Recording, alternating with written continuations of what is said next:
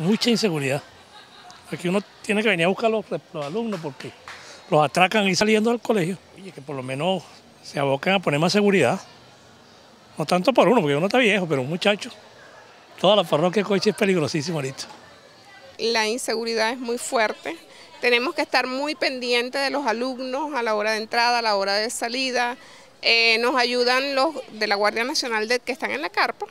Ellos está, los llamamos, vienen a ayudarnos porque a veces hasta botellas nos lanzan hacia el patio, sobre todo en la tarde. Y les han robado los celulares, eh, los bolsos, este, les han cobrado peaje y sobre todo en los meses de diciembre, la parte de carnavales, si no me pagas te voy a hacer tal cosa, que se comprometan más con la seguridad y de en todas partes, porque todas las parroquias están así. La inseguridad está bastante grave aquí en esta parroquia.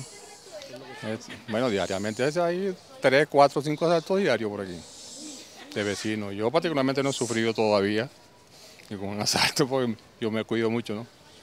Pero sí sabido vecinos que han quitado carteras, le han quitado celulares, oye, más vigilancia, pongan más módulos, porque por aquí no hay, por aquí eh, no hay ningún módulo policial. La delincuencia aquí en el, lo que es el sector de Cochi y todo lo que es el valle, toda esta zona de las mallas, eso es algo que cualquiera no lo cree, hermano. Solamente nosotros somos los que vivimos aquí, trabajamos aquí y sabemos en qué situación nos encontramos. Deberían colocar un poco más de seguridad, por lo menos el, el toldo de la Guardia Nacional, que en realidad ellos se salgan a la calle para que ejerzan lo que tienen que ejercer. Pues.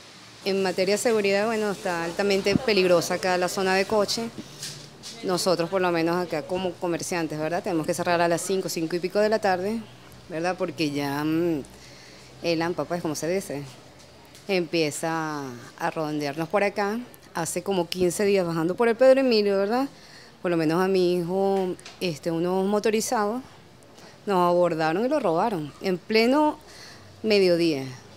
Donde se supone que hay bastante tráfico de, personas. El tiempo que tengo por acá, muy poco se ve la seguridad acá. En cuanto a policías, no se ve mucho. Ahorita verdaderamente es dura. En esta parroquia es, fuerte porque uno tiene que tener sumamente cuidado este, para que no lo, no lo atraquen. Porque cada día la situación aquí está más dura. Que haya mayor patrullaje que tengan más cuidado, o sea, porque aquí verdaderamente la delincuencia está desbordada en esta, en esta zona. Hace aproximadamente cuatro meses hubo una violación de una niña que la metieron para el monte, porque como te podrás imaginar, todo esto está lleno de monte, no viene la alcaldía a hacer mantenimiento y violaron a una niña. Y la policía, todo el mundo brilla por su ausencia, pero aquí no tenemos, tenemos que tomar justicia por nuestras propias manos, será, porque no vemos un guardia, no vemos, no vemos a nadie por aquí. Estamos abandonados, estamos abandonados.